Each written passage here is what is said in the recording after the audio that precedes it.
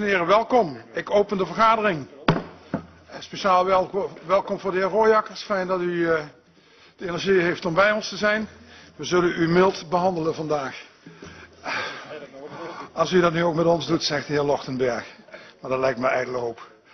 Uh, geen geen gebruik van vragenronde, zowel schriftelijk als mondeling. waarbij een van de schriftelijke vragen ook al eerder door de heer Royakkers werd gesteld, als u het goed vindt. Ik doe nog even de procedure op verzoek van de griffier. Het is de bedoeling dat u de vraag stelt. Uh, dat doet u dus inderdaad mondeling. Uh, vervolgens de portefeuillehouder antwoorden. Kunt u aanvullende vragen stellen en daarnaast de vloer voor iedereen. Um, voor een korte gedachtenwisseling als daar behoefte aan is. Um, ik zou willen beginnen met, als dat goed is, met de heer Koetsier van het CDA. U heeft een vraag over glasvezel nieuw lezen. Mag ik u het woord geven? Natuurlijk, dank u wel voorzitter. Uh, als CDA-fractie hebben we al eerder aangegeven uh, dat we hechten aan glasvezel voor de hele gemeente. Uh, de economische en sociale belangen zijn groot. En we zien het als randvoorwaardelijk om een vitale gemeente en gemeenschap te zijn en te blijven. Ook de wethouder heeft eerder aangegeven dit te onderschrijven en heeft aangegeven dit actief op te pakken. Op 2 november 2015 hebben wij als gemeenteraad ingestemd met de garantstelling voor het glasvezelnetwerk van Synergie, Nieuw-Leuzen. Het was onze verwachting dat in het voorjaar de schop in de grond kon. Um, sinds november is er weinig tot geen communicatie meer geweest rondom het initiatief. Uh, tot een mededeling van het college met als datum 25 februari 2016 dat er nog een marktconsultatie moet plaatsvinden.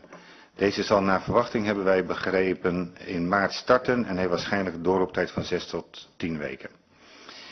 Naar aanleiding hiervan en van de nieuwsbrief die Synergie onlangs verstuurd heeft naar uh, haar leden, hebben wij een aantal vragen aan het college. De eerste. We hebben naar aanleiding van de nieuwe ontwikkelingen behoefte aan een overzicht. Dat geldt ook voor de inwoners van Nieuw-Leuzen.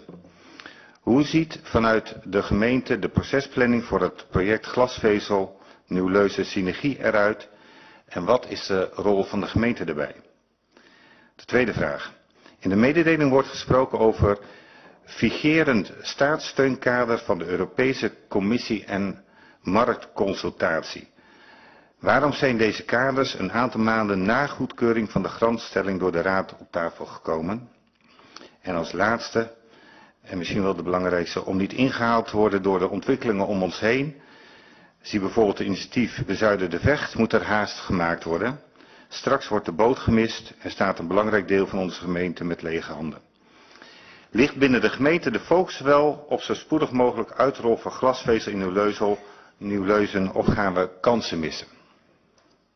Dat was het, dank u wel. Wethouder Agricola, mag ik u het woord geven voor een reactie? Ja, voorzitter. Naar aanleiding van vragen ik hoef de vragen niet te beantwoorden, maar naar aanleiding van uw vraag 1 uh, kan ik u het volgende daarop zeggen.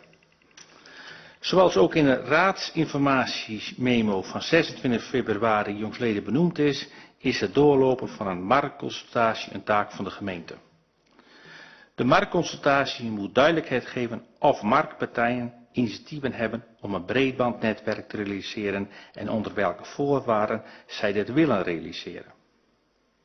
Deze consultatie zal starten eind maart, begin april onder de regie van de gemeente Dalfsen.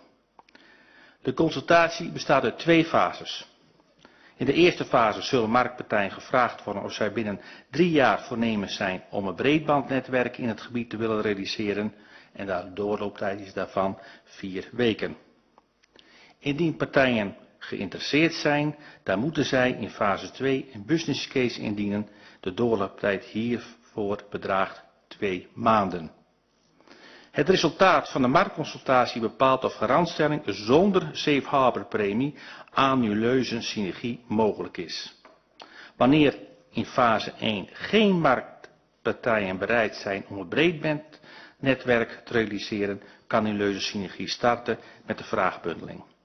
Gelijktijdig dient uw leuzen synergie de business case en het financieringsplan uit te werken conform het raadsvoorstel van 2 november 2015. En dit is dus een verantwoordelijkheid van uw leuze synergie. Uw tweede vraag. Om een garantstelling te kunnen verlenen, Passend binnen het vigerend staatssteunskader dienen wij een marktconsultatie te doorlopen. En dat kunt u ook lezen in het raadsvoorstel van november 2015. De marktconsultatie heeft als doel om te onderzoeken of marktpartijen geïnteresseerd zijn om een netwerk te realiseren in het buitengebied. In december 2015 is samen met de provincie onderzocht of voor de marktconsultatie kan worden aangesloten bij het eventueel nog op te zetten procedure van de provincie. De verwachting is nu, na de overeenkomst met SIF, dat de provincie geen marktconsultatie meer gaat uitvoeren, gezien de veranderende marktomstandigheden.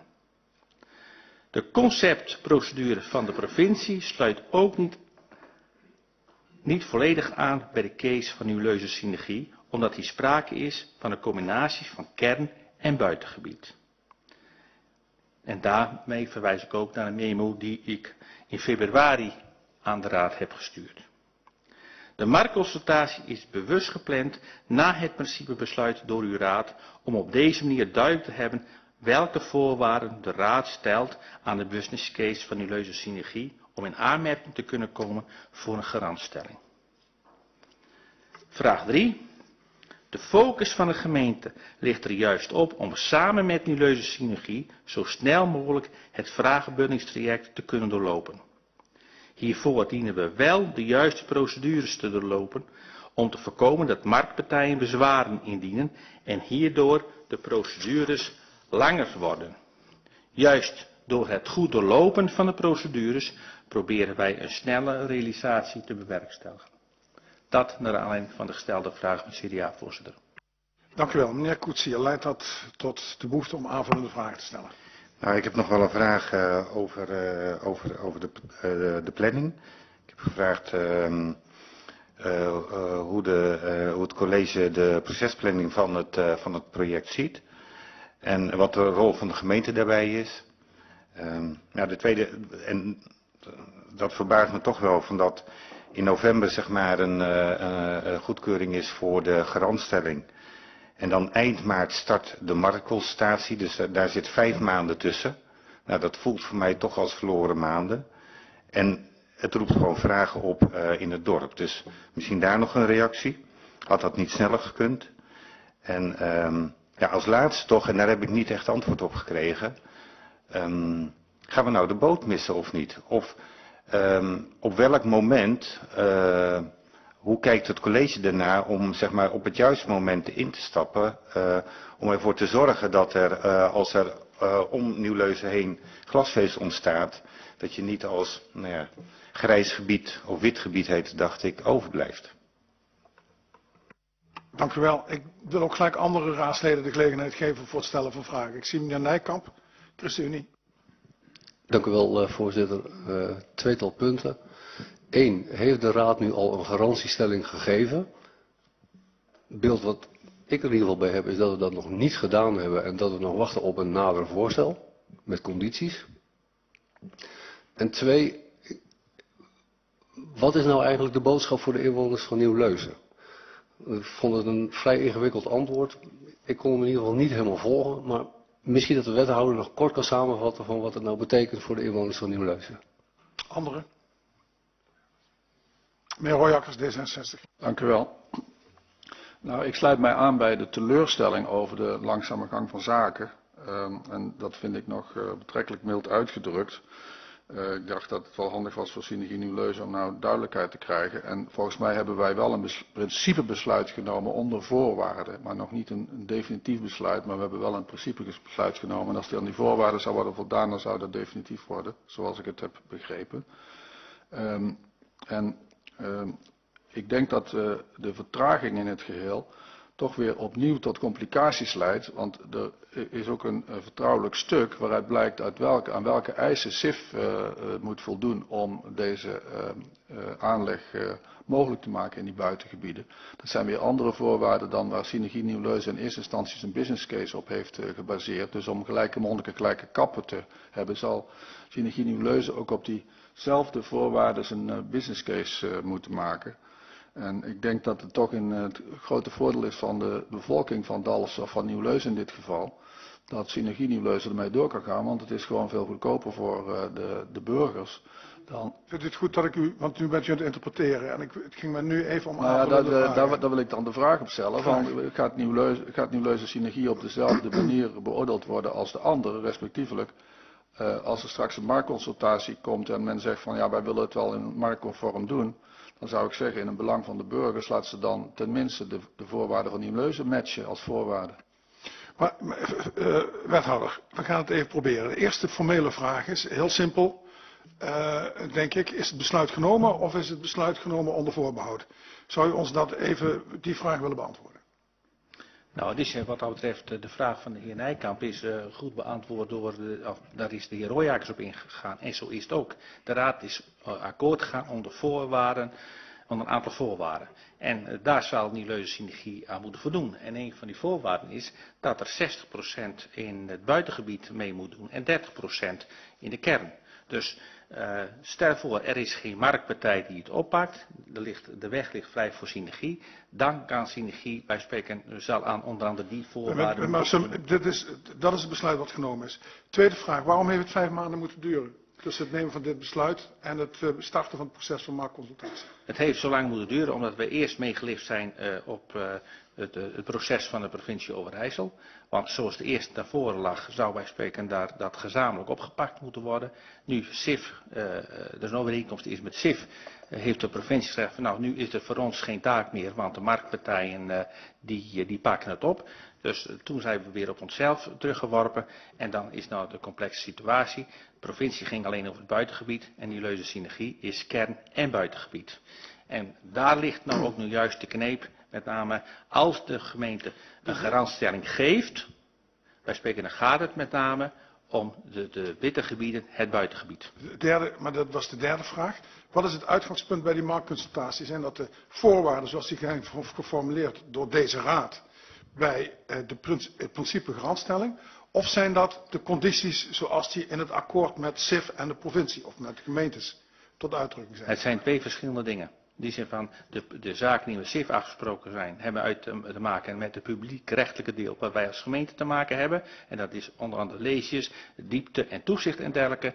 Maar dit uh, wat, wat nu voor ligt, dat heeft te maken van uh, dat te maken met de eisen vanuit Brussel, dat wanneer dus een initiatief is, dat door een plaatselijke coöperatie of een andere vereniging, dan zal dat ook eerst aan de markt aangeboden moeten worden. En als de markt het oppakt, onder dezelfde condities als, en de markt worden aangeboden onder de condities waar de corporatie het onder gaat doen. Dus de condities voor de corporatie zijn leidend voor de marktconsultatie.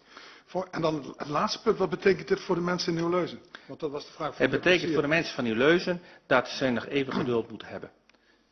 En dat is afhankelijk van, is er een marktpartij? Nee, dan kan bij spreken uh, Synergie in april uh, vraagbunding gaan doen en de rest voor elkaar doen. Zo niet, dan heb je eerst nog vier weken en die acht tot, uh, acht tot tien weken. Oké, okay, dan uh, heb ik hiermee de vragen aan elkaar gerafeld. Nou, nou, mijn vraag was, als die marktpartij nou ongelooflijk veel meer geld vraagt voor die aansluiting, dan kunnen ze wel aanbieden om hem aan te leggen, maar dan heb je geen vergelijkbaar aanbod. Is dat nog iets waar u uh, zeg maar een haakje aan kunt vinden om toch nieuw leuze synergie de kans te geven? We zouden het misschien wel willen, meneer Royakkers, maar dat is naar staatssteun en er wordt op de vingers getikt. Die zijn, dat hebben we te danken aan de liberalisering van de markt, waar we allemaal zo wild enthousiast over waren. En dat geeft ook weer dat bepaalde zaken buiten worden Maar als ik hem nu even gewoon terughaal, de discussie over glasvezel, daar is hier gewoon gesproken over tarieven, over percentages. En daarmee ligt het businessmodel voor Synergie Noeleuzen gewoon op tafel. Uh, zo heb ik het toch begrepen toen. Dat was toch de discussie, of niet? In die zin van het is zo, als Nuleuze Synergie het aan gaat leggen, dan zullen dezelfde voorwaarden gelden zoals die ook voor SIF gelden. Okay. Daar gaan we geen verschil in maken. Oké, okay, en andersom, als iemand anders het wil aanleggen, zal hij het onder de condities moeten doen waarvoor Synergie Nuleuze bereid is om het te doen? Ja. Oké. Okay. Kunnen we dat vastleggen? En dat is hier nu uitgesproken. Voorzitter, maar dat betekent dan dus ook voor zowel het, uh, de kern als het buitengebied uh, dat de marktpartijen aan, uh, aan moeten sluiten? Nee, nu ga ik gewoon weer terug naar de allereerste beantwoording van de vraag. Synergie Noeleuze mag het alleen maar doen als een marktpartij het niet onder betere condities doet. En die toets moet plaatsvinden. En dat is volgens mij altijd duidelijk geweest. Stond al in de notitie. En dan kan het ook zo zijn dat de marktpartij wel interesse heeft in het buitengebied, maar niet in de kern. Dus dat kan ook nog gebeuren. En wij hebben hier altijd gezegd, synergie heeft ze altijd aan elkaar gekoppeld en dat is ons uitgangspunt ook. Maar als de markt zegt, we hebben wel uh, interesse voor het buitengebied en niet voor de kern, kunnen we het niet keren. Okay. Dat zou erin houden dat synergie alleen de kern zou uh, kunnen doen.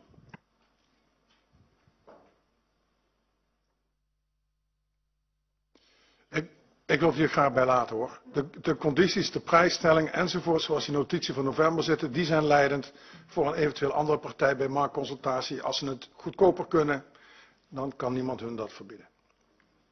Nou ja, dan moet u zich ook de vraag stellen waarom u dat zou willen. Dat is nou eenmaal zoals het systeem in elkaar zit. Meneer Koetsier. Nou, als laatste opmerking dan. Um, als ik het al goed heb begrepen, dan uh, kunnen we in, uh, in juni is er groen licht. Als het goed is, dan is de marktconsultatie afgerond. Periode van tien weken vanaf uh, uh, eind maart. En kan de vraagbundeling beginnen. Dus dat vind ik belangrijk om dat even voor mezelf vast te houden in mijn hoofd en uh, tot, uh, te volgen. Wethouder, heeft de heer Koetsier het goed begrepen? Alleen als er interesse is vanuit de markt. En die van, is er geen interesse vanuit de markt, die, dat zal uh, eind maand, begin april zijn. Dus daarna vier weken. En uh, bij spreken dan zou het al in mei kunnen zijn. Dus uiterlijk, meneer Koetsier, hopelijk eerder. Uh, dank u wel voor uw vragen. Dan ga ik naar de heer Raamaker. U heeft uh, van gemeentebelangen, u heeft vragen over de handbalvereniging. Nou, gelukkig heeft de media ons uh, vanmiddag ingehaald, maar uh, we hadden de vraag, we zijn geschrokken van het bericht dat uh, Sergodak uh, Dallersen volgend jaar niet meer op het hoogste niveau, eredivisieniveau, speelt voor Dallersen. En uh, ja, daar zijn we van geschrokken, maar de vraag was aan de wethouder van, uh, ja, bent u op de hoogte gesteld, weet u van het fenomeen af? En, uh, maar ja, goed, inmiddels hebben we andere berichten vanmiddag vernomen, dus volgend jaar wordt er weer handbal gespeeld op het hoogste niveau en ze worden gesteund door PEC Zwolle, heb ik begrepen. Bent u daarvan op de hoogte? PEC United. Dat is iets anders United, dan PEC. ja. Ja, dat is een heel belangrijk verschil. Want PEC United probeert een regiofunctie te vervullen en dat is iets anders dan de voetbalclub PEC Zwolle. Wethouder van Martels, uh, u heeft vast nog interessante dingen hierover te melden. Nou, wie weet. In ieder geval, uh, nou, de vraag die was heel uh, voor de hand liggend. Maar ja, vanmiddag, ik heb hier het persbericht voor me liggen. En er staat heel duidelijk, Stichting Tophandbal Dalsen en Regio Zwolle United verzekeren toekomst van tophandbal in Dalsen. Nou, bijzonder heugelijk nieuws. Was er vanmiddag ook bij bij de persconferentie. Ik heb nog één vraag gesteld, daar zal ik zo even op terugkomen. Maar vorige week uh, ben ik uh, vanaf de eerste minuut uh, betrokken geweest toen het bekend werd dat uh, Cerco Dak, tenminste de Stichting Handbal, Tophandbal Dalsen, dat ze geen kansen meer zagen voor de, om komend seizoen nog actief te zijn hier in, het, in de Eredivisie. Er zijn verschillende gesprekken gevoerd. Er is ook een beroep gedaan op de gemeente of er nog financiële steun kon worden gegeven. Dat betreft ben ik heel duidelijk geweest. We hebben gezegd van, we hebben de afgelopen twee jaar namens het college donatie gedaan van twee keer 10.000. Zullen we ook de komende twee jaar doen, als de handbal zou blijven. Maar uh, de raad is duidelijk geweest, die wil geen financiële steun verlenen aan topsport. Wel aan breedte sport, maar niet aan topsport. Dat heb ik ze duidelijk te kennen gegeven. Ik heb wel gezegd dat we bereid zijn om ook op een andere manier mee te denken. Nou ja, als ik dan vanmiddag hoor dat de regio Zwolle United uh, uh, betrokken zal worden in de toekomst bij allerlei maatschappelijke initiatieven, heb ik vanmiddag ook tijdens de persconferen persconferentie gezegd van dat we natuurlijk genegen zijn om daarover mee te praten en over mee te denken. Dus dat aanbod heb ik wel gedaan, maar uh, financiële toezeggingen zijn er niet gedaan. Maar wel heel mooi nieuws, al met al. Meneer Ramaker, misschien een aanleiding van. We zijn blij met uw antwoorden en uh, ja, we hopen uh, dat het goed gaat in de toekomst. Dus uh, ja, achterhaald nieuws inmiddels. Ja, anderen misschien nog naar aanleiding hiervan? We sluiten ons bij de heer Ramaker aan, denk ik. Um, dan zou, zou u misschien door kunnen gaan, meneer Ramaker, want u heeft ook, neem me niet kwalijk, ook een vraag over de naamgeving van de theaterziekerijfabriek. En dat heeft de heer Uitslag van het CDA ook. Dus misschien als u beide de vraag stelt en dan geleid ik ze in één keer door naar wethouder van Martels. Meneer Ramaker. Het gaat over de naamgeving theater en de sigarijfabriek. Uh, de naam sigarijfabriek en het theater heeft nog wat, uh, wel heel wat uh, onduidelijkheid opgeleverd onder de bevolking in Dallessen. Er is een gebouw met een rijke historie waar mensen vroeger hun werkzaamheden hebben verricht. En in de volksmond werkte men vroeger bij de sigarijfabriek van Erbers Prohama. Misschien kunt u duidelijk aangeven wat de officiële naam gaat worden. En we horen allerlei namen zoals stoomsigarijfabriek, stoomfabriek, etc. En we willen graag een reactie van u hoe dit besluit tot stand is gekomen en ja, wat nu de naam gaat worden voor beide locaties. Dan is het ook denk ik duidelijk voor de bevolking van Dallas. Dank u wel. Uh, dank u wel meneer Ramaker. Meneer Uitslag, vindt u het goed dat ik ook u laat aansluiten hierop? Dank u wel voorzitter. Recent is de naam van het nieuwe theater en de voormalige sigarijfabriek bekend geworden. Een pand dat rondom de besluitvorming, de planvorming van het waterfront veel positieve betrokkenheid van het Dalsnaar heeft laten zien. De keuze voor de naam Stoomfabriek bracht die betrokkenheid weer aan het licht. We ontvangen hierover veel reacties. En nu beseffen we ons dat de vraag of een naam mooi is of niet een kwestie van smaak is en dus persoonlijk. Toch zetten we vraagtekens bij de gekozen naam. Maar zijn ook benieuwd naar de gevolgde procedure om tot die naam te komen. Als CDA hadden we graag een naam gezien die aan zich uniciteit uitstraalt. We willen immers een plek zijn uit duizenden en niet een plek als duizenden, zoals we in onze gezamenlijke visie hebben geschreven. Als CDA-fractie hebben we een aantal vragen aan het college. Hoe is het proces gelopen om deze naam te kiezen? Welke kaders waren daarbij van belang en wie zijn erbij betrokken geweest bij de uiteindelijke keuze dus? Tweede vraag, waarom juist deze naam? We hebben ook veel leuke alternatieven gehoord, zoals de Smaakfabriek, Mooifabriek, de Sigorij enzovoort. En de derde vraag, is het college bereid om de naamgeving te heroverwegen en, op een of andere manier, de inwoners van Dalsen hierbij te betrekken? Dank u voorzitter. Ja, uitslag, meneer Raamaker. Dank u beiden. Ik geef het woord aan de heer Van Martels, wethouder. Ja, dank u wel, voorzitter. En ik zal even iets langer antwoorden geven, geven dan normaal van mij gewend bent. Omdat ik vind dat er echt duidelijkheid nou moet komen te bestaan over die naamgeving van het hele gebouw. Want de naam van het hele gebouw wordt Stoomsigorijfabriek. En dat is ook hetgene wat op de gevel komt te staan. De naam van de theaterzaal wordt echter Stoomfabriek. En de naam van het horecagedeelte wordt de fabriek. De naam voor, voor het theater is gekozen in de werkgroep die is samengesteld voor de programmering en de ontwikkeling van het theater. De werkgroep is samengesteld uit inwoners van Dalfsen met een breed netwerk op het gebied van theater en podiumkunsten. En de acht werkgroepleden zijn hierop geselecteerd. De werkgroepleden, de burgemeester en ik, hebben uiteindelijk voor de naam Theater de Stoomfabriek gekozen. Bovendien heeft er ook afstemming plaatsgevonden met de heer en mevrouw Schrijver van de actiegroep die gestreden heeft voor het behoud van de silgerij, maar ook met de exploitanten van de fabriek. We hebben hierbij niet gekozen voor de naam Sigorij en niet alleen omdat deze moeilijk te spellen is, maar vooral marketingtechnisch een punt, en een, een, punt, een punt is en ook nadelig is. De naam Stoomfabriek komt dus uit de werkgroep en heeft een verwijzing naar het verleden van het gebouw zonder de last van het lastige woord Sigorij. Daarnaast komt de originele naam zichtbaar terug in de gevel van het gebouw en is een ieder natuurlijk vrij om niet naar de stoomfabriek te gaan, maar om niet naar de stoomfabriek, maar naar de sigorij te gaan. We zijn als college niet bereid om in dit stadium de naamgeving nog te heroverwegen. Dit heeft in dit geval niets te maken met starheid of botheid, maar meer ook vanuit praktische overwegingen. Het heeft te maken dat CIBAP-studenten nu al bezig zijn met de huisstijl, inclusief het ontwikkelen van het logo.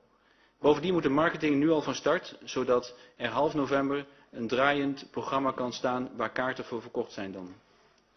Bovendien een opmerking van mijn kant. Geeft daarnaast niet elke keuze die zou worden gemaakt een discussie.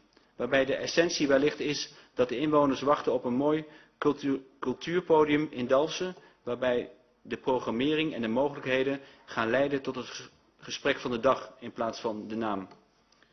Sigorij is het plantje waar heerlijke surrogaatkoffie van kan worden gemaakt. Maar wij willen geen surrogaat, wij gaan voor echt theater. Tot zover. Uh, dank u wel. Meneer Ramaker, misschien naar aanleiding hiervan.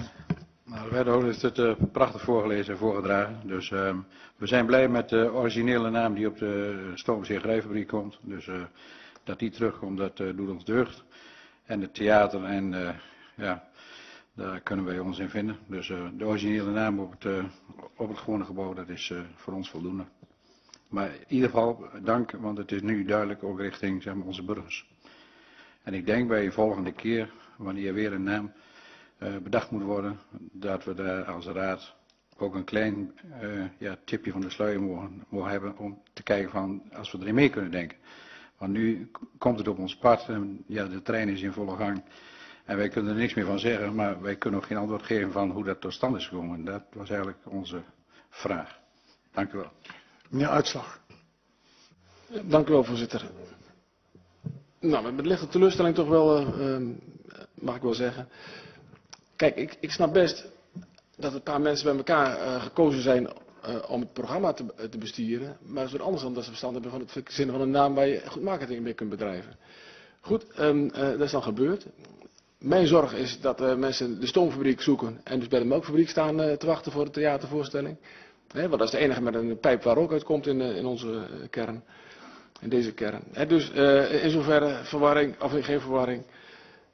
nou ja, jammer dat we ja, dan toch geïnformeerd zijn zonder enige sturingsmogelijkheden. He. De, ja, de CIBAP-studenten zijn al bezig, het programma moet gedraaid worden. Dus raad, hier is de informatie, je kunt het mee doen. Um, en alternatieven zijn er niet. Terwijl ik, hè, ik hoef maar uh, even om ons heen te kijken, waar zelfs uh, onze koning van de Dalsen kwam, de opening van de trefkoelen. Die naam is ook niet vanuit het gemeentehuis bedacht. Hè. Die, heeft, is ook door een prijsvraag, is door inwoners uh, naar voren gebracht. Um, ik ben zijn naam even kwijt, Dick. Um, nou, Dick in ieder geval. Die heeft die naam bedacht en vervolgens is daaruit gekozen. Dus de betrokkenheid van de inwoners, de gouden kans die, die voor ons lag, nou, die hebben laten lopen. Uh, het is jammer. Ik hoop inderdaad dat er nu meer gesproken wordt over de programmering dan over de naam. Maar ik denk daarmee dat we de kans daarop uh, wel een beetje kleiner hebben gemaakt. Tot zover, uh, voorzitter. Ik neem het even in aan mijn fractie of u nog verder actie op moet ondernemen. Wethouder, u misschien nog? Anderen? Neem me niet kwalijk. Meneer, meneer Wildvank, Partij van de Arbeid. Ja, dank u wel. Ja, ik heb ook overwogen om dus dezelfde vraag te stellen en heb besloten om dat nog niet te doen. Maar ja, nou die er ligt, haak ik er maar even op in. Um, en ik geef daarbij aan hoe, ik er zelf, uh, hoe mijn vraag eruit gezien zou hebben. Want naam mooi of lelijk, ja, daar ben ik het helemaal mee eens. Daar, daar kan je het lang of breed over hebben, maar daar wordt het niet anders van. Ik was alleen benieuwd naar het proces. Daar heeft de wethouder nu van alles over gezegd. Want uh, dat was onze achterliggende gedachte. Het is iets, dit, dit theater is iets wat niet alleen voor het dorp is, maar ook door het dorp moet worden gedragen. En een naam is dan wel belangrijk. En, en de manier waarop die naam dan tot stand komt, daar hadden wij wel aardig gevonden als dat een wat bredere uh, ondersteuning zou kunnen hebben. Nou, u hebt toegelicht hoe dat gegaan is. Uh, ik vind dat we hier ook alleen maar te beoordelen hebben of u in redelijkheid tot uw besluit bent uh, gekomen. Nou, daar kan je denk ik nu van zeggen dat dat, zou zo, dat kan zo. Um, en ik neem ook even mee nu van dat u zegt, ja, ik ga, er niet, ik ga het niet heroverwegen. Uh, en in die zin sluit ik me aan bij het CDA. Ik neem dat even mee terug naar de fractie. Dank u wel. Meneer Royakkers. Dank u wel. Ik vond dat de wethouder wel een heel origineel uh, antwoord had op een gegeven moment. Nou, door te zeggen dat hij dit keer niet bot of, uh, wat was het andere woord? Bot of star was, maar gewoon praktisch. En ik wil hem daaraan toevoegen dat het soms praktisch kan zijn om bot of start te zijn. Ik wens u veel succes met de naam. Anderen nog behoeften? Wethouder tot slot. Ja, nou die kritische noten nemen we zeker ter harte. Ik bedoel, uh, het, het, is nou eenmaal zo dat we nu in een dusdanig ver stadium zijn dat er eigenlijk geen weg meer terug is. Maar uh, we moeten ons uh, terdege van bewust zijn dat we de volgende keer toch het wat breder gaan trekken. En niet, niet bij een werkgroep gaan houden, maar inderdaad misschien of de bevolking erbij te betrekken, of de raad, of wie dan ook. Maar dat moeten we zeker doen en dat, uh, ja. Maar ja, ik zit al te bedenken welke naam moeten we in de toekomst nog gaan verzinnen. Maar dat komt dus, uh, oh ja, op die momenten wel te sprake als het echt uh, noodzakelijk is. De campus van Nuleuzen, misschien kunnen we daar dan straks een naam voor gaan bedenken. Misschien is dat een mooie suggestie van... Wellicht wethouder, kunt u dan gewoon de 21 raadsleden bij elkaar in een kamertje zetten. En dat, er dan, dat ze niet naar buiten mogen totdat ze het met elkaar over de naam eens zijn. Moet u de melk, dat zou, dat zou een advies kunnen zijn en dan zorg ik dat er voldoende eten en drinken is voor de komende weken. Dat wel in de melkfabriek zijn, want daar kan alleen maar witte rook uitkomen. Maar goed, maar dat is wel een moment waarop dat aan de orde zou kunnen zijn. Dan hebben we het over de WFC-campus, want ik herinner me dat de heer Nijkamp daar ook al eens een keer opmerking over gemaakt heeft. Dat hij dat een werktitel van niks vond. Ik vat het maar even samen. Uh, dus misschien dat, daar, dat dat een moment is om daar een keer uh, over te hebben. Eh, voorzitter, misschien ja, toch even voor een goede verstaander. U geeft nu de suggestie dat de raadsleden die nou moeten gaan kiezen.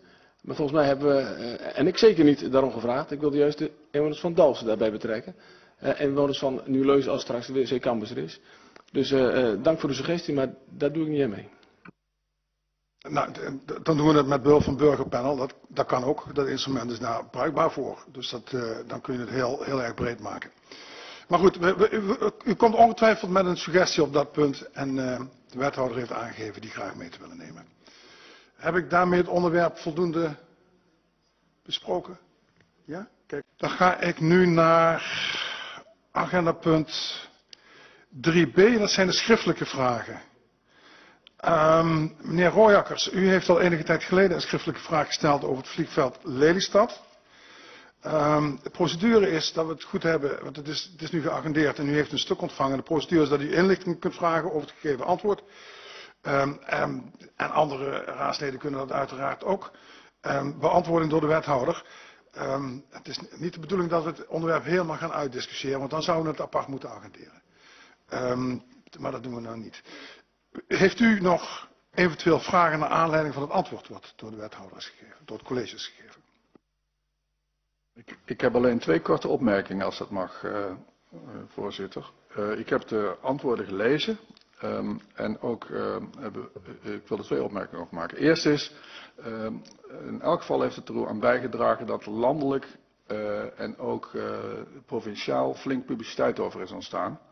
En uh, daarin en ook in het antwoord van het college wordt er aan, uh, aan, gerefereerd dat er toch niets meer aan te doen is aan dat vliegveld Lelystad, omdat dat een definitief besluit is. Dat was me wel bekend, dat wil ik even toevoegen. Waar het om gaat is over de aanvliegroutes en de hoogtes van die aanvliegroutes. En da dat is nog niet in beton gegoten. Dus het is misschien goed dat we ons daar dan op concentreren. Het was nooit de bedoeling om het bestaansrecht van het vliegveld Lelystad ter discussie te stellen, maar wel om, om dit te agenderen. En inmiddels is het dus zo dat uh, er mede voor heeft gezorgd, waarvoor dank aan het college dat het op de kaart komt. Dat ook onze fractie uh, in, van D66 in de provincie, het met de provincie op de kaart heeft gezet. Die ging ervan uit dat uh, de provincie Gelderland hun belangen zou behartigen, maar dat hebben ze waarschijnlijk niet correct gedaan, want die zijn opgehouden bij, tot en met Hattem met de belangenbehartiging. En op, op deze manier uh, ook de landelijke zweefvliegclubs zijn uh, zeg maar in het geweer gekomen. Heb ik uh, de goede hoop dat met de voortgaande hulp van, de, van het college we hier wat, nog wat kunnen bereiken. Andere naar aanleiding hiervan. Meneer Nijburg. Nou, voorzitter, dank u. Ja, een soort opmerking. We zijn blij dat D66 dit aankaart en uh, op de kaart zet. Ik denk ook dat het goed is. Wij vroegen ons alleen af, hebben wij nou wat gemist uh, als uh, raad, of in ieder geval wij als fractie, want het staat ons niet helder op het netvlies dat we dat ooit hebben voorbij zien komen. Ja, die vliegtuigen wel, maar niet die procedure. Nog even los van het feit of je er heel veel aan kan doen. Wethouder, Neem niet kwalijk. Wethouder, mag ik u het woord geven? Meneer Jutte? Gemeentebelangen. Ja, dank u wel. Ik, ik, um, ik heb gelezen op internet dat het vorig jaar juli al uh, het einde indieningsdienstwijze was. Uh, dus ik ben ook wel bang dat het allemaal onomkeerbaar is. Maar ik zal nog even zeggen. Het college dat het tijdspad nog te blijven monitoren en de uitvoering. En waar nodig of waar mogelijk toch een moment te pakken om de negatieve ontwikkelingen uh, tegen te ageren. En aan de andere kant, uh, regionaal zal het natuurlijk ook wel kansen bieden en er ook in de gaten houden waar wij de positieve dingen eruit kunnen halen. Daar wil ik nog even bij toevoegen. Dank u wel. Meneer Wildvank. Ja, dank u wel. Ja, ik sluit me in eerste instantie van bij de heer Nijburg. Het is goed dat, uh, dat het opgepikt is door D66. Um, het, is, het is gelopen zoals het gelopen is. Um, suggestie zou nog kunnen zijn, maar dat is misschien een open deur hoor. Um, dat er zijn natuurlijk partijen die wel tijdig zijn geweest met het indienen van hun bevindingen of uh, zienswijzen, bijvoorbeeld de provincie. En wellicht kunnen we, die, uh, kunnen we daarop aansluiten om nog eens te kijken wat er nog mogelijk is. Wethouder van Leeuwen, ik geef u graag de gelegenheid om te reageren. Ja, dank u wel. um, ik begin even bij um, de heer Nijburg van de, ChristenUnie. Hebben we iets gemist? Ja, dat lijkt mij een, een duidelijke conclusie. Dat we iets gemist hebben. Um, is er nog iets aan te doen? Nou, besluit niet, dat is onomkeerbaar. Uh, maar, en daar ben ik het met de heer Rooijakkers eens, de, dan niet zozeer de aanvliegroute als wel de wachtroute, de wachtplekken. Daarover is nog geen besluit genomen. Uh, binnenkort heb ik samen met de ambtenaar overleg met de heer Van Nes. Dat is een, een piloot die ook als zweefvlieger aan, uh, hier bij de Aeroclub lid is. En die gaat ons nog helpen en adviseren hoe wij daar eventueel nog iets aan kunnen bijsturen. Dat die wachtplek op een mogelijk ergens anders zou kunnen komen. Um, dus waar we nog kans zien, uh, meneer Jutte, om daar wat aan, uh, aan bij te sturen, dan zullen we dat uh, zeker niet nalaten. En um, ja, er zijn bij mijn weten ruim 200 zienswijzen ingediend en die zijn allemaal terzijde geschoven. Omdat het hier over landelijk nationaal belang gaat dat in feite. Um, dus wij gaan ons best doen om waar mogelijk de Aeroclub, het zweefvliegveld, voor Dalfsen te behouden. Eén kleine, want er is altijd een andere kant van de medaille. Die wil ik u toch ook niet onthouden. Uh, hoewel we hier overlast gaan krijgen, is voor de economische ontwikkeling van de regio Zwolle het ook weer een grote kans, dat vliegveld. Dus er is ook altijd nog weer een andere kant van de medaille. Dat is het, uh, voorzitter. Is dat voldoende? Mevrouw Schiphorst, mag ik u het woord geven? Uh, schriftelijke vraag. Heeft u nog eventuele vragen naar aanleiding van de reactie van de wethouder? Ja, het ging over jeugdzorg en, het, uh, en de eigen bijdrage. Ja, dank u wel voorzitter. We hebben schriftelijke vragen gesteld over de eigen bijdrage of de oude bijdrage uh, van de jeugdzorg. De staatssecretaris heeft besloten om niet langer die oude bijdrage te heffen. Zeg ik dat goed? En um, naar aanleiding van dat besluit hebben we vragen gesteld hoe we binnen Dalsen hiermee omgaan. En we hebben daarop antwoord gekregen, waarvoor dank, uitgebreide beantwoording ook. Um, maar ik heb alleen een vraag nog over uh, de beantwoording rondom de informatie aan de ouders. Want er wordt aangegeven dat het CHK, de informatie dat 2015 wel wordt geïnd bij de ouders, uh, zal neerleggen en dat in 2016 de oude bijdrage niet meer wordt geïnd. En dat, naar aanleiding van het collegebesluit van de gemeente Dalsen om niet uh, 2016 meer in rekening te brengen, maar terug te geven over 2015, zal het CAK dat ook naar de ouders communiceren. Dat is dubbele informatie, de ene wel en de ander niet, hoe zeg ik het, uh, waarmee uh, de verwarring denk ik alleen maar groter wordt. En um, de communicatie met die ouders is zo belangrijk, want het is ook een grote en complexe situatie, verwarrend. En ik wil graag van u horen hoe u denkt dit in goede banen te kunnen leiden. Daarnaast wil ik um, nog even aangeven dat ik het fijn vind dat het college op 15 maart heeft besloten, naar aanleiding van de bevraging, van de vraagstelling van het CDA, om het besluit zoals het nu heeft genomen om 2015 terug te geven aan de ouders. Um, te nemen. En uh, dat getuigt ook wel van lef, moet ik zeggen. Ik wil graag nog beantwoording over de communicatie, voorzitter. Wethouder van Martels, niet zozeer het besluit als zodanig, maar de communicatie met de ouders met betrekking tot de eigen bijdrage over 2015. Dat is de vraag. Ja, dank u wel. Uh, mevrouw Schiphorst, u suggereert dat het eventueel tot uh, verwarring zou kunnen leiden bij de ouders. Uh, de, dat heeft dan de betrekking op de manier waarop het CRK gaat communiceren. Dat vraag ik me af, maar ik wil best even verifiëren of dat ook mogelijk het geval zal zijn. Ik ben het helemaal met u eens dat we dat moeten voorkomen. Dus ik zal eerst gaan informeren of dat inderdaad tot uh, verwarring gaat leiden. En zo niet hoeven we niks te doen. En, en als dat wel het geval is, ja, dan moeten we maatregelen nemen. Want uiteraard willen wij dat ook niet. Nou, zoals in de beantwoording is gegeven, leidt het bij mij tot verwarring. Dus ik ben benieuwd naar uw antwoord en dat mag schriftelijk wat mij betreft. Ja? Dank u wel, voorzitter. Ja, uh, anderen naar aanleiding van dit punt? Niet? Heb ik dan de schriftelijke vragen ook voldoende aan de orde? Zou ik over willen gaan naar Uh, agenda punt 4, vaststelling van de agenda.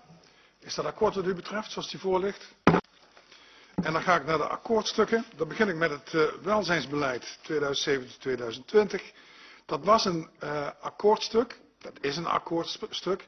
Maar er, is wel nog een er is nog een besluit genomen door het college met betrekking tot de te volgen procedure. Uh, in kernpunten wordt je alsnog aangekondigd, zodat burgers in staat zijn om eventueel hun op- en aanmerkingen te maken. Laat ik het zo zeggen voorstel is om hem desondanks ter stemming te brengen. In ieder geval niet om inhoudelijk te behandelen. Dus als we hem nu gaan behandelen, graag de procedure. Mevrouw Schiphol, CDA. Dank u wel, uh, voorzitter. Nou, we zijn blij met de voorgestelde wijzigingen zoals die nu op scherm staan. Uh, dat we ook de burgers of andere belanghebbenden uh, vragen om een zienswijze, als die er is, in te dienen. En ik ben benieuwd naar de resultaten daarvan en de verwerking door het college. En we zullen instemmen, zoals we al hebben aangegeven. Anderen nog? Mevrouw Lars, Christine. Ja, dank u voorzitter. Ik kan wel aansluiten bij wat net gezegd is. Uh, we zijn blij dat het college onze opmerkingen zo uh, heeft opgepakt en dat deze extra tijd wordt gegeven. En uh, onze dank daarvoor en we zullen instemmen. Anderen nog? Niet? Mag ik hem gewoon in stelling brengen dan, als akkoordstuk? Oh nou ja, nou, dat doe ik veel te snel. Welzijnsbeleid 5, 2017-2020. Het enthousiasme, zullen we zeggen. Nou ja, maar het is toch een nota waarin, uh, waarin veel tijd is gestoken. En de wethouder was echt heel erg blij met de wijze waarop die behandeld is. Laat ik dat dan maar zeggen. Want dat riep hij vandaag op de gang nog. Uh, dat hij daar gewoon toch wel een beetje trots op was. De inspraaknotitie welzijnsbeleid 2017-2020 vast te stellen. 2. Welzijnsbeleid 2017-2020 vast te stellen. 3. De beleidsregels innovatieve uh, preventieprojecten sociaal domein vast te stellen. Bijlage 1. 4. De beleidsregels maatschappelijke duurzaamheid vast te stellen. Bijlage 2. Vijf, de besluiten genoemd onder 1 tot en met 4 als definitief aan te merken als er gedurende de aanvullende inspraaktermijn geen nieuwe inhoudelijke zienswijze binnenkomen. En zes, voor de organisatieontwikkeling rondom de welzijnskoepel eenmalig een krediet van maximaal 50.000 euro beschikbaar te stellen voor de periode van 2017-2020. Wie gaat daarmee akkoord? En dat bent u allemaal. En daarmee is die uh, aangenomen. Dan ga ik naar rijkwijde en detailniveau milieueffectrapportage uitbreiding windpark Nieuw-Leuzen. Voorstel. Akkoordstuk. Ja. Ja, ik ben ervan uitgegaan dat het een akkoordstuk is. De reactienota is wel aangepast naar aanleiding van de behandeling in de commissie. Maar dat heeft u allemaal kunnen zien als dat goed is. Dus ik behandel hem als akkoordstuk. Voorstel 1 kennis te nemen van reacties en adviezen en in te stemmen met de beantwoording zoals weergegeven in de reactie- en adviesnoten NRD uitbreiding windpark Nieuwe-Leuzen. Twee, de notitie rijkwijd en detailniveau uitbreiding windpark Nieuwe-Leuzen met aanvullingen zoals genoemd in de in lid 1 genoemde reactie- en adviesnota vast te stellen. En drie, voor de in de NRD beoogde uitbreiding windpark Nieuw-Leuzen de coördinatieregeling volgens paragraaf 361 wet ruimtelijke ordening toe te passen op de voorbereiding en bekendmaking van het bestemmingsplan en daarvoor benodigde omgevingsvergunningen. Gaat u akkoord? Dat doet hij allemaal. Is met algemene stemmen aangenomen. De spreekstukken, agenda punt 7, herziening, bestemmingsplan, buitengebied, Staphorsterweg. Voorstel komt uh, direct in de raad. Uh, behandeling in twee ronden, zoals dat hoort. Dus ik begin met de informatieve, wie daar behoefte aan heeft. Die is er niet. Besluitvorming. Mag ik daar gelijk naartoe? Ja? Dan doe ik dat komt u in beeld. Achtstelziening buitengebied Staphorsterweg 12. Voorstel de achtstelziening bestemmingsplan buitengebied gemeente Dalfsen Staphorsterweg 14 enzovoort enzovoort enzovoort. Met de bijbehorende standen langs elektronische weg en een analoge vorm gewijzigd vast te stellen. 2. De provincie te vragen besluit eerder bekend te mogen maken dan de wettelijk voorgeschreven termijn van zes weken van de wet ruimtelijke ordening. En 3. Geen exploitatieplan vast te stellen. Bent u akkoord? Bent u allemaal? Algemene stemmen aangenomen. Agenda punt 8. Kadernota verbonden partijen. Uh, daar waren nog een aantal fracties die daar nog eens een keer goed over na wilden denken. Herinner ik me. In ieder geval gold dat voor het CDA. En dat gold ook voor de Partij van de Arbeid. Het gold ook voor gemeentebelangen. Wie van u, en voor, eigenlijk voor iedereen. Wie van u mag ik het woord geven? In dit verband. Meneer Schuurman. Gemeentebelang. Dank u wel, voorzitter. Na uitgebreide bespreking in de commissie hebben we het stuk in de fractie nog eens uitgebreid besproken en verdere informatie ingewonnen. Uh, die vraag die voor ligt is of we als raad akkoord kunnen gaan met het overdragen van de bevoegdheid aan het college om een zienswijze in te dienen voor de onderdelen onder ontwerpbegroting en wijzigingen op begrotingen bij de verbonden partijen. Als we kijken naar de voorgeschiedenis van het onderwerp en we denken aan de uitkomsten van de rekenkamer en de taakgroep, dan kunnen we concluderen dat we als raad meer bezig willen zijn met het besturen, het richting geven en de controletaak uitoefenen en minder met de details.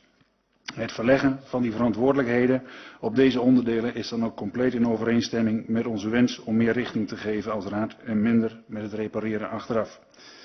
Als gemeentebelangen vinden we het dan ook belangrijk dat we vooraf de kaders goed doorspreken met het college en meer focus leggen op het besturen en richting geven dan uh, dat andere punt.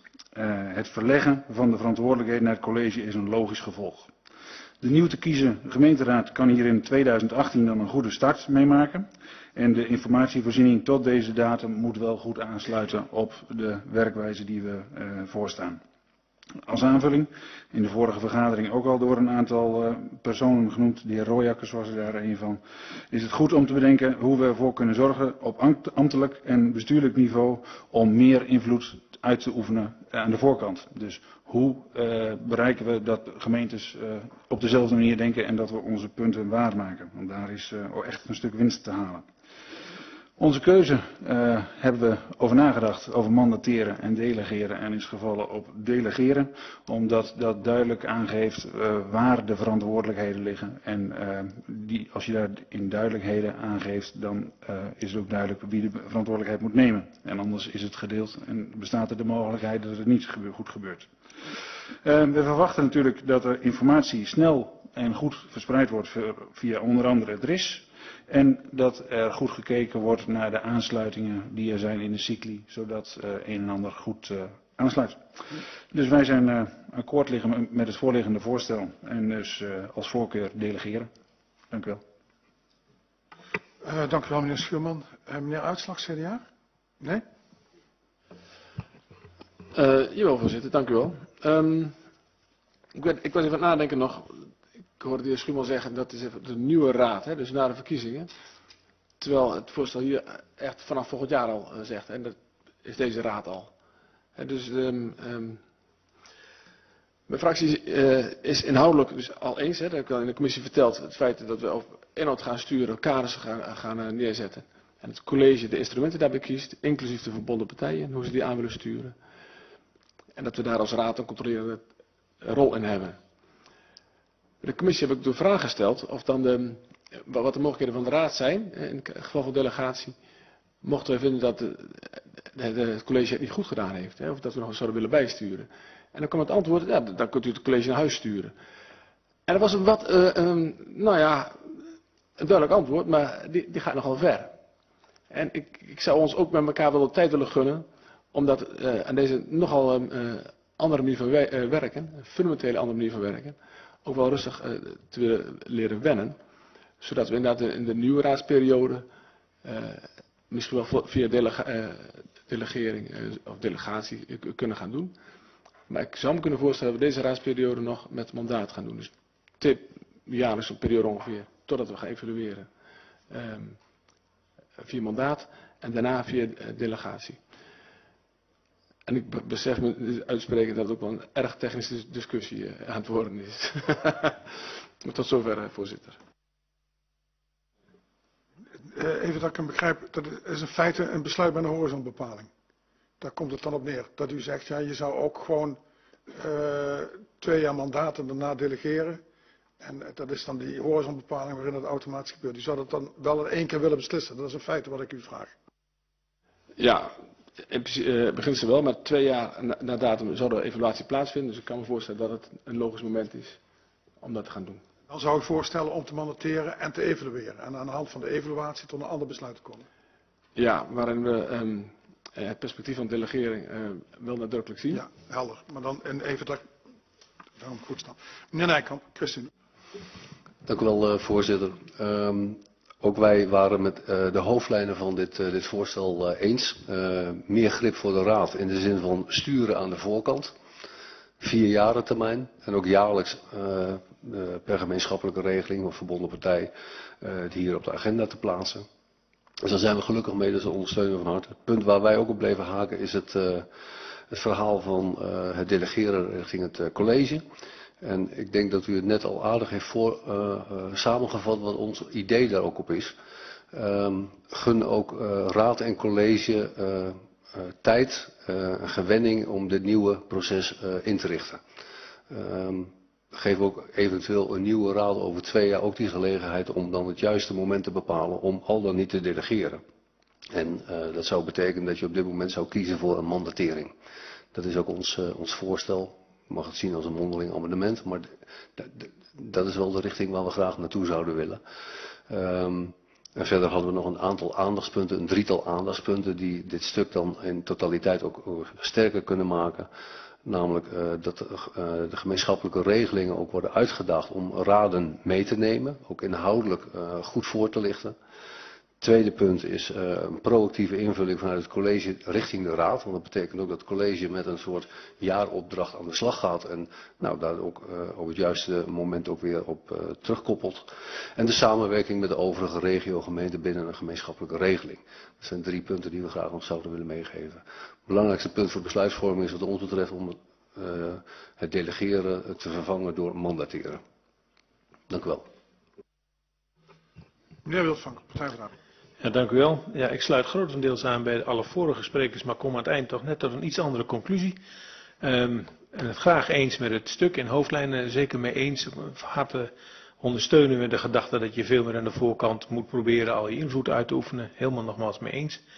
En dan zit, haken we op dat punt van uh, delegatie of mandaat.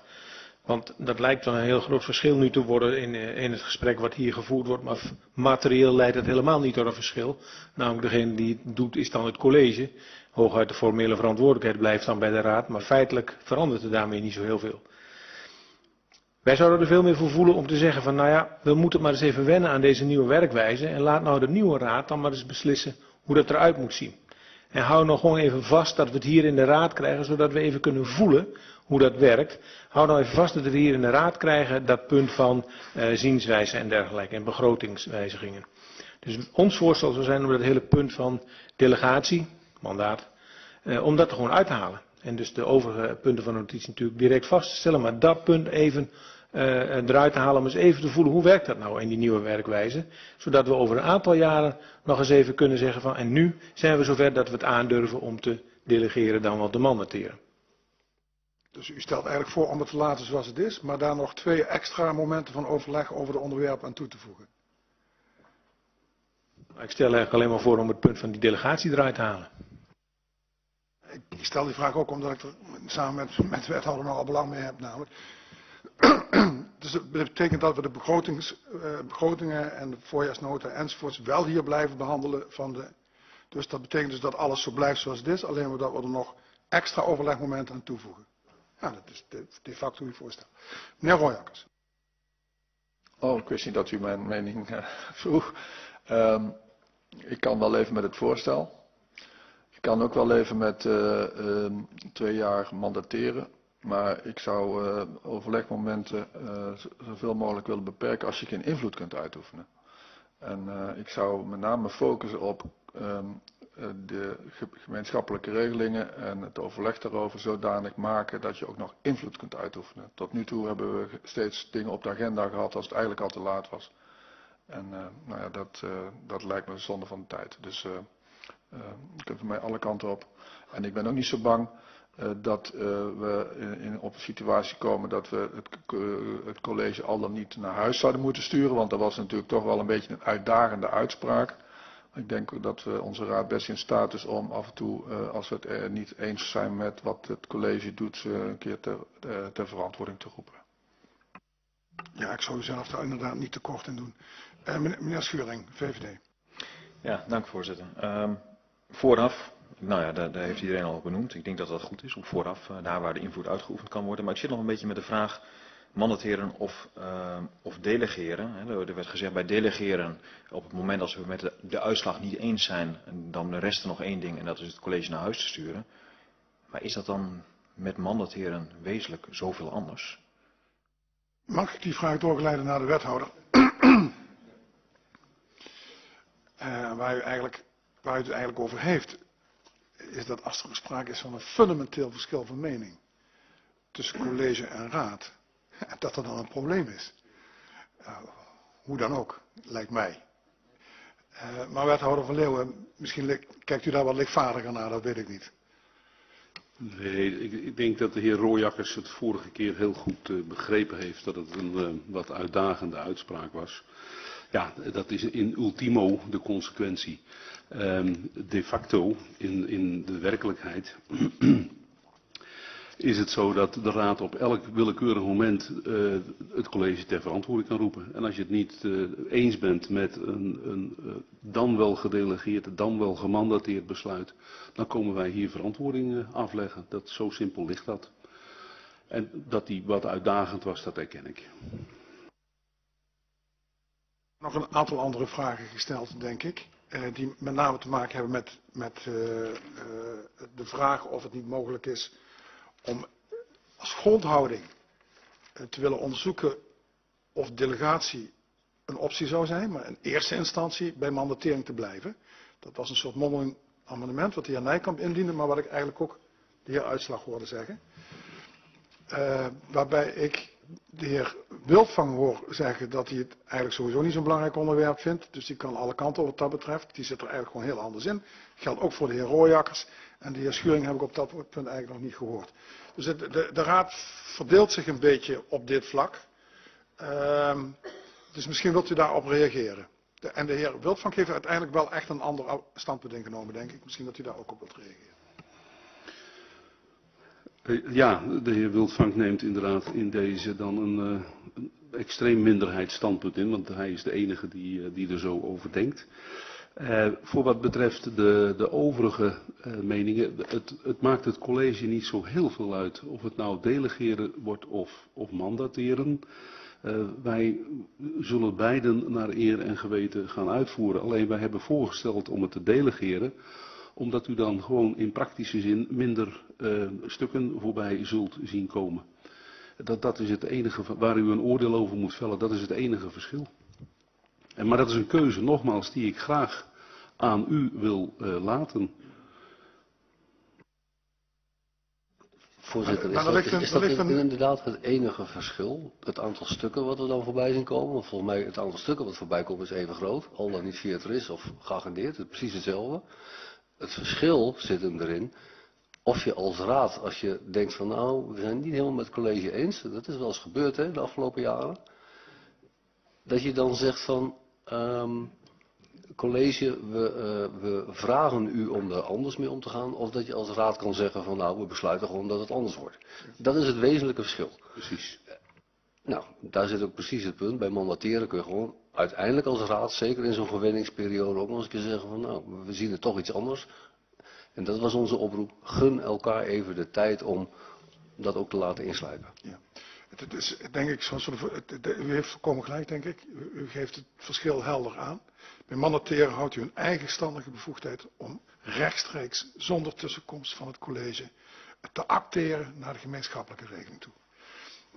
Dat is, dat is het formele punt. Uh, maar dat doet u dan ook uit eigen verantwoordelijkheid, zonder tussenkomst van het college. Het college kan dan gewoon een andere opvatting hebben dan u op dat punt. Dus u heeft, u heeft een extra bevoegdheid. En uh, ja, ik kijk even naar de wethouder. Ik hoor zowel u als de heer Uitslag zeggen dat u de intentie goed begrijpt. Dat u een feit ook onderschrijft. Maar u wilt, u wilt, dus, het, u wilt het wat geleidelijker. Uh, en u wilt even kijken hoe het in de praktijk werkt. Ja, dan, kijk, dan kan ik je raad laten, moeilijk, uh, weet ik veel, dadelijk 10-10 laten stemmen met, met één iemand die naar het toilet is of zo, weet ik veel. Dat vind ik eigenlijk niks. Dus ik, ik stel gewoon voor, wethouder, uh, dat, dat, we die intentie volgen. Kijk ook naar de heer Schuurman of u daar problemen mee zou hebben. Um, en dat we nu afspreken dat we, uh, dat we het besluit nemen om te mandateren. En gelijktijdig om bij de nieuwe raad het onderwerp te agenderen. Ik zou het wel fijn vinden om dat besluit ook te nemen. Dat het dan ook blijft, hangen. Dan hebben we ook de intentie helder. Uh, nou, dat hoeft dan ook niet naar dag één. Maar we hebben volgens mij, als we dadelijk een besluit nemen, hebben we ook besloten dat de nieuwe raad een kadernotitie zal moeten vaststellen met betrekking tot die gemeenschappelijke regelingen. En misschien dat bij het vaststellen van die kadernotities dit onderwerp van delegatie weer opnieuw aan de orde zou kunnen komen. Dan kunnen we het ons ook beter voorstellen, denk ik, wat het in de praktijk zou moeten betekenen. Is dat, is dat uh, de geest van de vergadering? Ik kijk ook naar meneer Schuurman, want ik doe u misschien tekort, dat weet ik niet. Nou, uh, tekort, dat wil ik niet zeggen daarin. Uh, we hebben uh, ook duidelijk aangegeven dat wij ook zien dat we te maken hebben met een overgangsperiode. het doel moet zijn delegeren in deze, denk ik. dat zou ons, onze wens zijn. maar wij kunnen prima leven met het toewerken naar deze situatie voor, in twee jaar. Dus geen probleem. Dan vertaal ik even het uh, mondeling amendement. Komt erop neer dat we delegeren vervangen en mandateren. En ik zou er graag de beslisregel aan willen toevoegen dat het onderwerp wordt geagendeerd bij de behandeling van de kadernota's in ka bij, bij de gemeenschappelijke regelingen. Ik kijk even rond. Zou dat, dat, moet nog technisch opgelost worden, hoor ik hier gemompel. Maar, ja, maar dat is ook voorbereid door het college. Dit is voorbereid door het college. Dit zou het ongeveer kunnen zijn wat ik net zei, mondeling. Ja? Ja, die moet dan even toevoegen. Ja. Via en het onderwerp te agenderen bij de, uh, bij de behandeling van de eerste kadernota's in de nieuwe raad. Meneer de voorzitter, mag ik er nog één opmerking over maken? Want uh, op zich uh, heb ik een extreem minderheidsstandpunt, hoor ik net. Nou, ik bedoelde dat u een extreme minderheid bent. Ik zeg niet dat u een extreem stand. Dat zult u mij niet horen zeggen. Oké, nou ja, goed. In ieder geval de kleinst mogelijke uh, afwijking, laten we maar zo houden. Um, gaat niet meer goed komen, geloof ik. Neem niet weg dat ik wel in ga stemmen met het voorstel en dus eigenlijk een stemverklaring zou willen afleggen. Want waarom hebben we dat afwijkende standpunt? omdat het samenhangt met het rapport van de Rekenkamercommissie en ik het gevoel een beetje heb van ja, er ligt zo'n rapport, daarin wordt gezegd, let op, goed erbij zijn, stuur aan de voorkant, let op raad wat je doet, je moet daar je invloed netjes uh, uitoefenen en we geven het nu eigenlijk aan de voorkant, zeg, leggen we het in één keer bij het college. Dus het voelt voor ons gewoon niet helemaal oké dat je op basis van zo'n rapport van de Rekenkamer, waar gezegd wordt neem je verantwoordelijkheid, dat we dat vervolgens doen en bij het college neerleggen.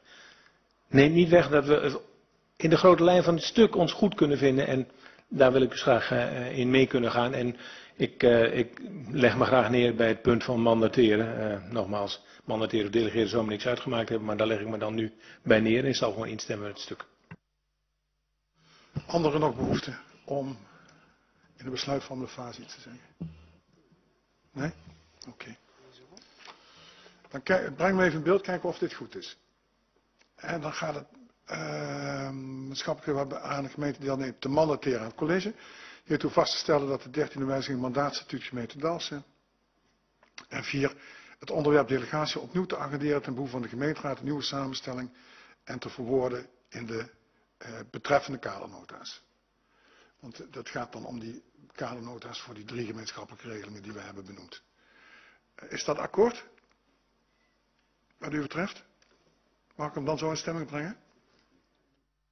Het zijn de drie kadernota's voor de drie gemeenschappelijke regelingen die, waarvan u nu heeft bepaald dat die een aparte behandeling krijgen.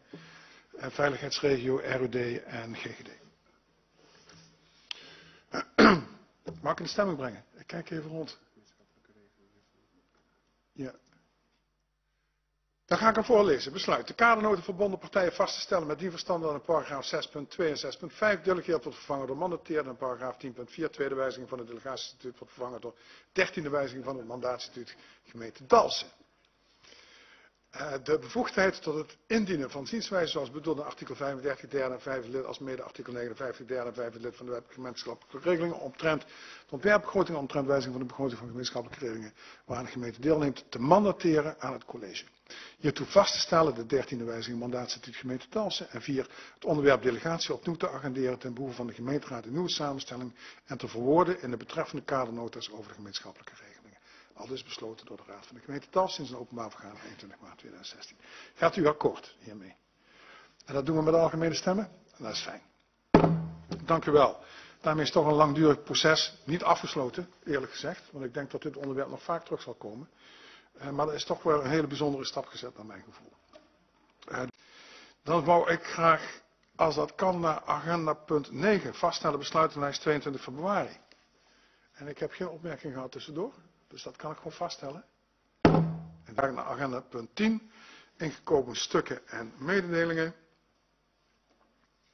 Even kijken, brieven 1 en 2 zijn reacties op het welzijnsbeleid. Die zijn aan de orde geweest in de raadscommissie. 3 ehm, is een zienswijze, brief 3, maar die wordt ingetrokken ehm, in een nieuwe brief. En die nieuwe brief komt op de lijst van, uh, van april. Uh, en brief 10 dat is een geschil in het buitengebied. En de griffier heeft voorgesteld om deze brief door te schuiven naar de volgende raadsvergadering. Om in de tussentijd helder te krijgen welke formele stap de raad zou moeten zetten. Want eh, wij gaan ervan uit dat het hier gaat om een formeel bezwaar. En dat is een hele procedure die dan gevolgd moet worden. En we zouden graag die brief met u willen bespreken op het moment dat we ook die procedure scherp hebben. Zoals dat conform de verordening van de gemeente ook verplicht is. Zoals we een brief behandelen, zeker beantwoorden, moet de behandelingsprocedure als zodanig helder zijn. En dat is hier nog niet. Nou, daarvoor moet overleg worden gevoerd op presidium. Dat zijn de punten die ik in ieder geval even wilde melden. Iemand anders nog naar aanleiding van iets anders? Nee? Uh, vertrouwelijke lijst. Nou, als u daarover wilt praten, dan mag dat, maar dan gebeurt dat vertrouwelijk. Daarom heet het ook de vertrouwelijke lijst. Heeft u daar behoefte aan? Niet? Naar de sluiting van de vergadering toe? Want volgens mij ben ik daar. Ja? Agenda punt 11, sluiting. Ik dank u voor uw inbreng.